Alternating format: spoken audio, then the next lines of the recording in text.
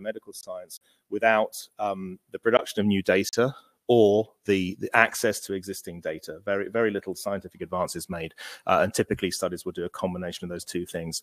And so, uh, around the world, there are many databases, as Jeff has already um, already told us, that are important for people, uh, arguably in, in, indispensable for people to make advances in their science. And, and the GBC is all about trying to address the, uh, the challenges associated with the, the, sustainability of these databases.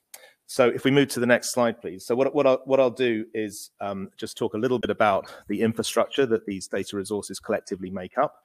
Um, I'll talk about the challenge of sustainability. I'll introduce the GBC. I'll give some examples of things that the GBC is doing, and then I'll finish up with a, a comment on why I think this matters to biodiversity scientists and to biodiversity informatics scientists as well. And so the oh, here we are. The um, uh, collectively there are some 3,000 data resources that make up this global infrastructure.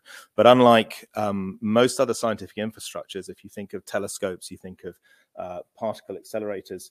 Um, unlike other infrastructures, they, these grow from the bottom up. They come from the community organically and they grow. And, and, often, as we heard before, you know, a lab gets interested in a particular or gets develops a technique, produces a new data type, builds its own database. It has collaborators that need access to the database. And over time, there are more and more collaborators and it becomes a really important service. And actually for some of the biggest databases that we now have that we use day in, day out, uh, they've taken this, this, this path as well. So it's crucial. It's a highly um, uh, highly organic infrastructure. It exists really around the world. Um, it's it's highly distributed. No one actually knows exactly where all the components are. That's, as we'll see, that's part of our job to, to try to find that out.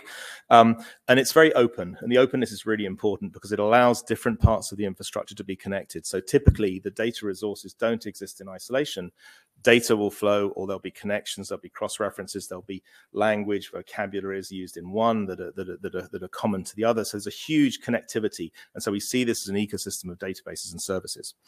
Um, it's, I probably don't need to mention this here, that it's cost effective there are many examples of where it's just not possible to collect data to rerun experiments uh, and, and the searchability and the reusability that you get with stored data just exceeds that you get with living things in, in, in living in real environments.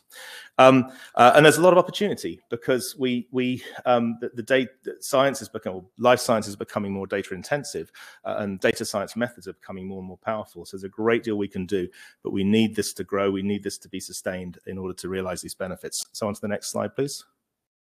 And so um, there are some significant challenges. Uh, so um, the rate at which people produce data increases, typically with a rate that itself increases. So often we see exponential growth in some of the data types that feed the databases. Uh, we all love open access, uh, and more and more institutions, funders, journals adopting open access policies. This is all great, but of course, it increases the demand on the system. Uh, the data resources need to be there to handle the, the greater flows of data. Um, we have loads of new technologies coming along all the time. Uh, there needs to be a home for the data. These need services, um, and and as I mentioned, data science, think of artificial intelligence, machine learning, and so on, really powerful, um, but they place a huge demand on the data resources to be able to serve their purposes.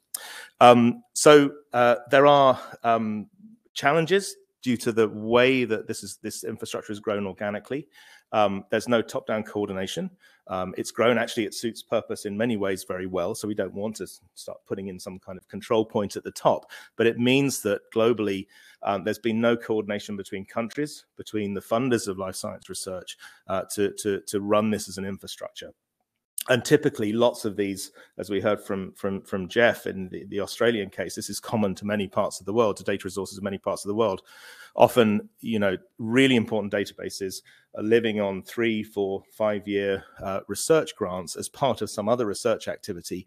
Um, no opportunity to plan no opportunity to to to, to procure the right kind of technical hardware or cloud provision. No no no strategic opportunity really to develop things for the, for the longer term so um, if you look on the right there, just just quickly. So this is a study from a few years ago now, looking at some European, large European life science databases uh, in a particular set from the, the Elixir, which is the European infrastructure.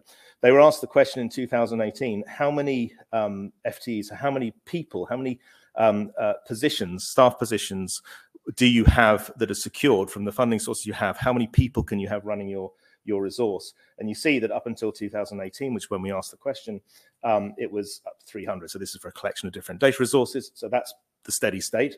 But then the question was, well, what what do you what's secured for next year? What's secured for the following year and the following year? And you see that that that at the point in 2018, the window of security really was no more than three years, and and there were no no positions available. You know, you get five six years in, very few positions have been secured, and so you can't plan with this um, with this kind of situation where where really your funding expires with no security about how you get the next round um, uh, within a three year window. So on to the next slide, please. So the, the Global Biodata Coalition um, is a coalition of, of, uh, of life science funding organizations that come together really to recognize First, how, how important this infrastructure is, these data resources are to the scientific progress, to delivering their programs. Second, that, that um, there are threats to the sustainability. The sustainability is low, there's fragility in the system, um, and that they need, as funders, to work together to address these challenges. And they come together, they um, agree, they sign up to a letter of understanding that really has them uh, supporting the work of a well, the small coordinating secretariat, but but really trying to work together to find the ways in which better global cooperation between funding organisations can happen, uh, better to sustain these data resources, and and essentially this is a job really of of bringing together communities of people that run the data resources uh, with communities of people that, that know about and, and, and run the funding, and then and finding the, the, the middle point, finding the thing that the, the, the model that will work for both sides, and then helping them to, to move towards that model. So on the next slide, please. So currently we have 11 different funding organizations uh, and observer organizations on a path to membership um, uh, from different parts of the world. So you see one, see a, a NHMRC in Australia, for example, we have um, a scientific advisory committee, we have various working groups, and I'll cover some of the work from those groups. And then we have a small group uh, working in the Secretariat. So on the next slide, please. So on to some of the things that we've been doing. So this is the inventory that Jeff has already introduced very, very nicely. Um, so this was a process to try to identify where these data resources are we can all think of the ones we use most often, um, but we know there are many that we were unlikely to know about. Um, so this was an approach that took the the assumption that well, if you are a um, if you are a, a, data resource that's providing services and you're open and you want people to come and use your data resource, you will at some point publish a paper in the scholarly literature that describes your resource and invites people to come and look. Now, not everyone has done that, so we know we're missing. Uh, there are some false negatives in here because not everyone publishes or not everyone has published yet. Um, but through this process, um, and I won't go into the details of it, we revealed just over 3,000 different data resources. Um, and some of them are, are, big and very generalist and in very, very heavy use all the time. Um, and then uh, there are some intermediates and there's a very long tail with some really focused and specialist data resources. So with this effort, we partly we want to know what they are, but we want to know who, what kind of organizations are running them. We want to make contact with the people that are running them. Um, and we also want to understand how they're funded um, and, possibly bring more funders into the loop and understand a little bit more about what the, the, the existing uh, models for funding are.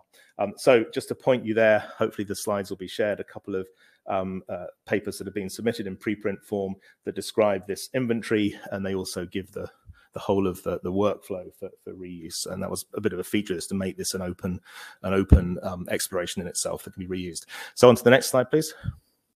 So a second uh, piece of work was to, um, on the understanding that there are um, a number of data resources that are really used, you know, the, the resources that are, we've heard mention of, of, of GenBank and GBIF, those data resources that are typically fairly generalist, but they're used very, very heavily and they have a truly global user base um, thinking that if those resources are not sufficiently sustainable, um, then they will not only, you know, the world will suffer because it won't have direct access, but actually that will impact a lot of the other data resources because typically they're feeding data or they're providing some some some information into into the, the slightly smaller, more specialist resources. Um, so we went through a selection process in 2022. Um, so we set a, a number of criteria. Um, I won't go through them in detail, but essentially we were trying to find these these these these bigger players um, that have a, a broader and, and, global usage. Um, and we um, had a, a, a, panel of expert, uh, external expert reviewers, um, a two-stage process. And um, at the end of that, we ended up with 37 uh, different what we call global core biodata resources. And um, just to say, an example would be, uh, well, there are many different types of data resource, and an example is, is GBIF. Um, and on the final version of the slides. I think I had a picture of it, but that tells me this is not not the final version. Um, so um, another piece of piece that comes from that is that that we now have 37 different um, global core data by, by, data resources, and we have the the teams and the, the leaders of those resources who uh, are keen to work together to to try to find solutions to sustainability. Um, and so uh, we've been speaking to, to what we call the GCBR forum, that is these people, um, various topics of interest. One of the things we have to do is, is to define, and I just show a mind map down here, and I don't expect you to see any of the, be able to read the words, but just to show you that this is quite complex. Um, this is really trying to define sustainability. So we know that funding is important, and, and it's, it's the single point of failure. If you don't have sufficient funding, you can't run these things. Goodwill only gets you so far.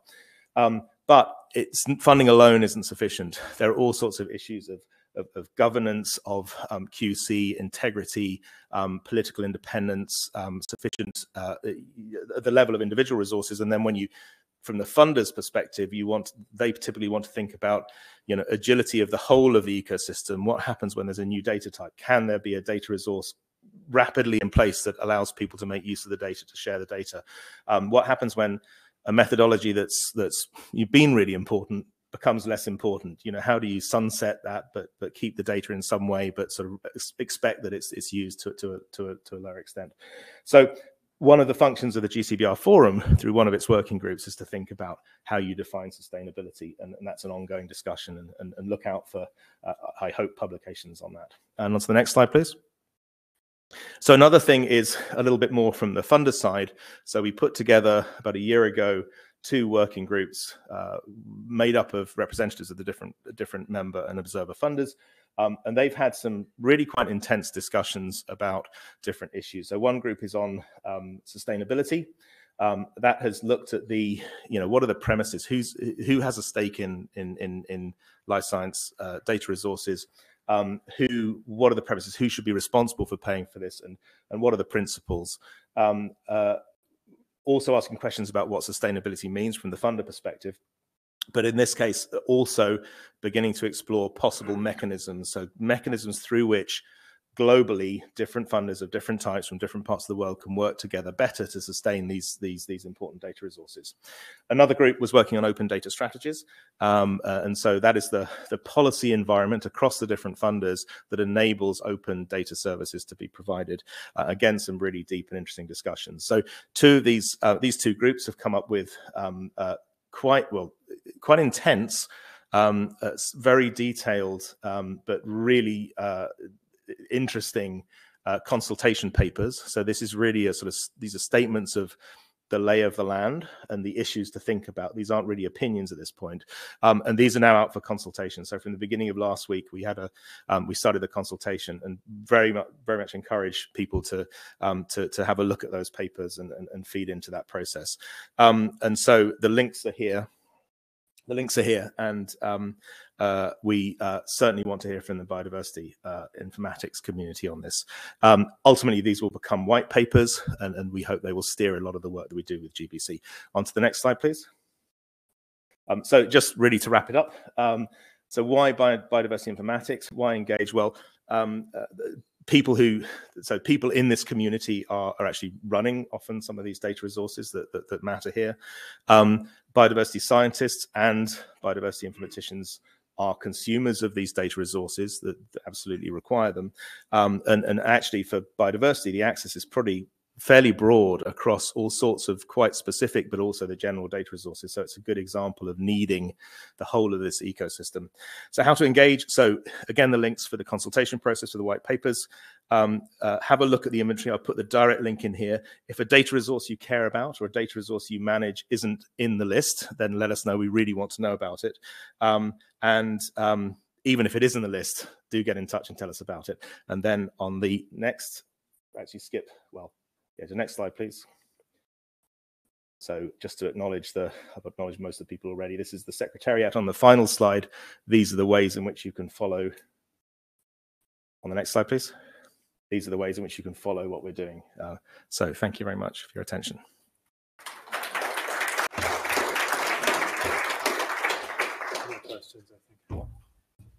Uh, no, thanks, Guy. I think we'll go straight to the next talk, David Ickleden uh, Uh, from Kew will tell us about the Biodiversity Heritage Library.